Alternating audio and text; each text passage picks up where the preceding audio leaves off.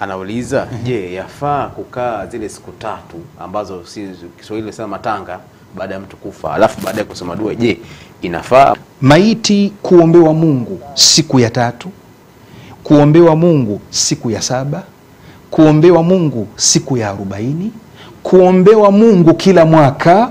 Haya yote ni mambo mazuri ya kumfanyia maiti? ya kumfanyia maiti Sawa sawa na hadithi zilizopokelewa kutoka kwa Mtume Muhammad sallallahu alayhi wa alihi wasallama zinazotilia umuhimu wa kumwombea Mungu maiti na kumwombea msamaha maiti hazisemi kwamba afanyiwe siku kadhaa.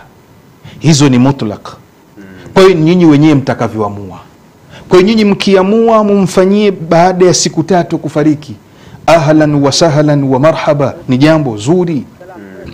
Na mkiamua kama zamani walivyokuwa wanafanya babu zetu wa Kizaramu huku kwamba akishazikwa maiti basi wao anasomewa Qurani nzima pale pale kaburini kwa muda wa siku tatu nzima. Kila siku. Kila siku na haikatiki. Yani wanabadilishana wale wasomaji. Panapigwa hema pale na hawaondoki wale kwa muda wa siku tatu nzima. Na haya tumeyapata hata warabuni pia wakiyafanya.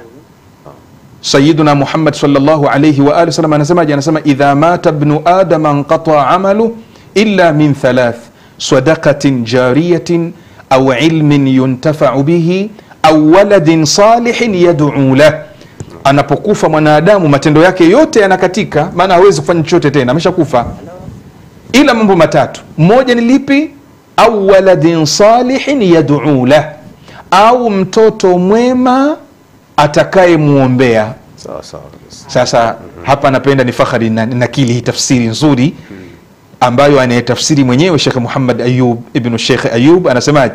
Anasema au waladin salihin yaduu la, si lazima yaduu la, yani si lazima aombe Mungu huyo mtoto. Kile kitendo tu cha wewe kuacha mtoto mwema, hilo peke yako umeacha sadaka wewe. Kwa hiyo hili jambo la kwanza. Jambo la pili, naomba nimnakilie hadithi mheshimiwa, hadithi nzuri hii uh, kutoka kwa Anas ibnu Malik. Anna nabiya sallallahu alayhi wa alihi wasallama suila. Ya rasul Allah, sisi tunawatolea sadaka maiti wetu. Tunachukua misahafu tunapeleka msikitini, tunachukua majuzuu tunapeleka madrasa, tunachukua shilingi mbili tunampa mwalimu wa madrasa zimsaidie, kwa sababu anafundisha watoto Quran. Lakini tunatoa pesa pia kuwapeleka watu wakawahijie wazazi wetu. He? Mzazi wangu umetangulia mbele za haki, bwana, nenda kamuhijie baba, nenda kamuhijie mama yangu. Je, thawabu zinamfikia? Lakini si hivyo tu, pia tunakaa tukawaombea Mungu.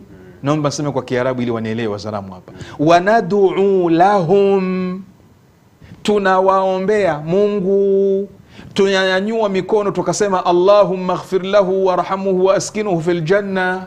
Ndiyo yanayofanywa kwenye hitima hayo, ndiyo yanayofanywa kwenye tatu, ndiyo yanayofanywa kwenye sabaa wanazofanya huko handeni hawafanyi jingine lolote.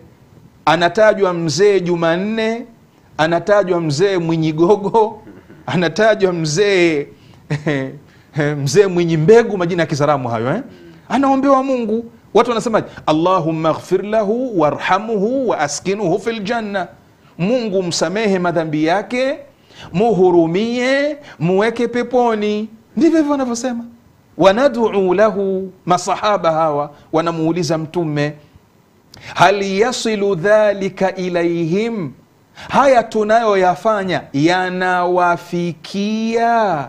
Qala naam, Mtume anasema inawafikia. Si hivyo tu, na wao wanafurahia tendo hilo.